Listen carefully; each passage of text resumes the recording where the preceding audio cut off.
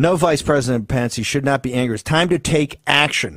We got to stop tell, saying, oh, they're going to be held accountable. Show me the accountability. The trade deal's irrelevant.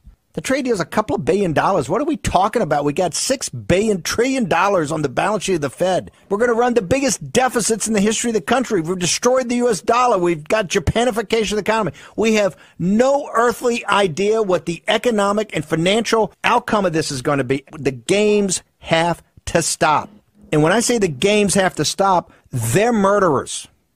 And if you don't believe me, read the report from Dr. Li-Meng Yan. But the truth is going to win out here, and history is going to judge everybody in this.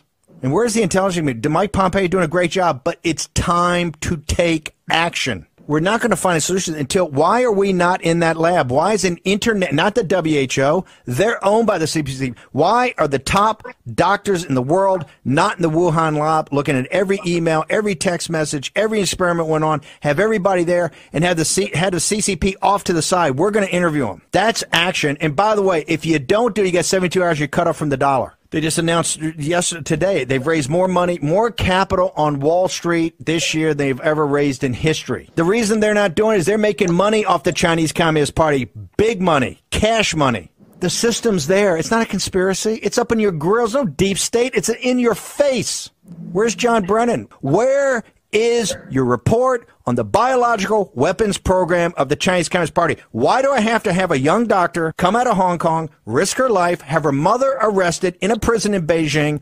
Why is the United States with trillions of dollars, why are we sitting here depending upon a hero from communist China has to come here and do the report? Why is this report not done by the CIA? Why is this report not done by the DIA? Why?